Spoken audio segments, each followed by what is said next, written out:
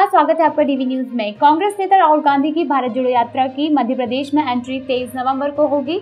महाराष्ट्र में जलगांव के जामोद से होते हुए यात्रा बुरहानपुर के बोधरली गाँव पहुंचेगी। यात्रा 15 दिन में प्रदेश के छह ज़िले, बुरहानपुर, खंडवा, खरगोन, इंदौर, उज्जैन और आगरमालवा में घूमेगी। मध्य प्रदेश में यात्रा तीन सौ निन्यानवे किलोमीटर चलेगी। पहले यात्रा 20 नवंबर को मध्य प्रदेश आना तय हुआ था। बुधवार को राहुल गांधी और कांग्रेस नेताओं की बैठक के बाद शेड्यूल में बदलाव किया गया। बाकी के कार्यक्रमों में बदलाव नहीं किया गया है। स्वागत के दौरान यात्रा को यहाँ की संस्कृति से रूबरू कराया जाएगा।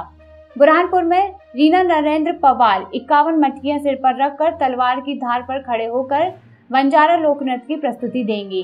खंडवा में गढ़गौर नृत्य से अगवानी होगी। वहीं खरगोन में नर्मदा आरती तो इंदौर में राजवाड़ा पर राहुल गांधी की नुक्कड़ सभा होगी। इसके साथ ही उज्जैन में राहुल महाकाल और आगर में नलखेड़ा स्थित माँ बगलामुखी का आशीर्वाद लेंगे।